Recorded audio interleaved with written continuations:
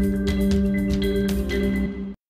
Перші вантажівки гуманітарного конвою Росії перетнули кордон з Україною на КПП Донецьке Зварене. За попередньою інформацією, зараз машини формують колону, аби продовжити рух територією України. А саме одна частина автоколони повинна вирушити до Донецька, а інша до Луганська. Нагадаємо, напередодні офіційний Київ заявив, що розглядатиме проведення Росією чергового конвою з так званою гуманітарною допомогою на схід України як порушення статуту ООН. Тоді про це заявив на засіданні Ради безпеки Організації Об'єднаних Націй заступник директора департаменту міжнародних організацій МЗС України Юрій Вітренко.